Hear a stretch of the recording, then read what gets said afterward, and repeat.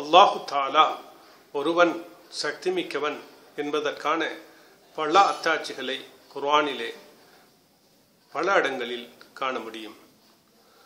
அல் குர்ஆனுடைய எண்பத்தி எட்டாவது அத்தியாயத்தின் அதாவது சூரத்துல் ஆஷியாவின் பதினேழாம் வசனத்திலே அல்லாஹ் இப்படி சொல்கிறான்.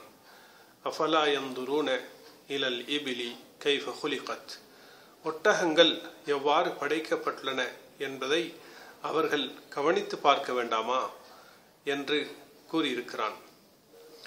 இந்த வசனத்திலே ஒட்டகங்களுடைய வினோதமான ஆச்சரியமான படைகோலத்தை கவனித்து பார்க்கும்படியாக அல்லாஹு தாலா தூண்டியிருக்கிறான். ஏன்?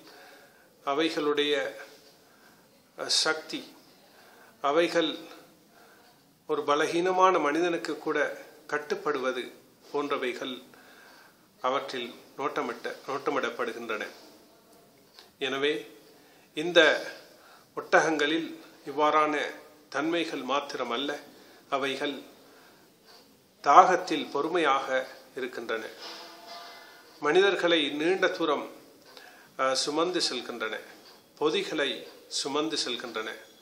அவற்றுடைய மாமிசங்களை மனிதர்கள் சாப்பிடுகின்றனர். அவற்றுடைய பாலை குடிக்கின்றனர். இவ்வாறு பல பயன்பாடுகளை அல்லாஹு தாலா ஒட்டகங்களில் வைத்திருக்கிறான்.